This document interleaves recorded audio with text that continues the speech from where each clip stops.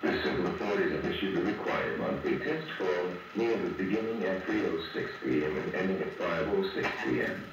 This is a required monthly test of the emergency alert system. At this is an actual emergency or dangerous situation, official